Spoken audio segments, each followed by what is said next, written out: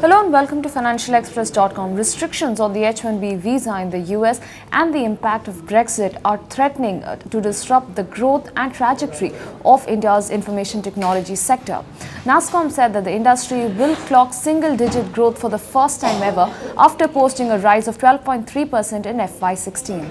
In an indication of how uncertain the outlook is, the trade body said it would offer a forecast for FY18 only three months down the line after meeting with the stakeholders. NASSCOM had earlier pruned revenue guidance for FY17 to 8 to 10% from 10 to 12%.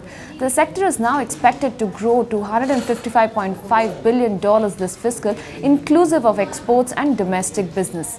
In fact, registering a growth of 8.7% in constant currency terms.